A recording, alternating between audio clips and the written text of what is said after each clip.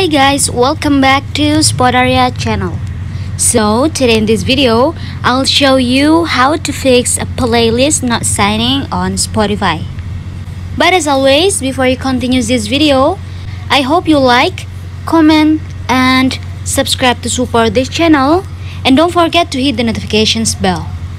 So without any further ado, let's get started. First step, of course, you have to go to your Spotify apps on your phone.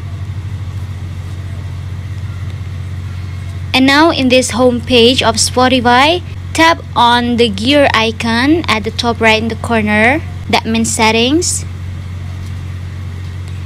And now scroll it down until you find local files. And when you see it, you have to tap on it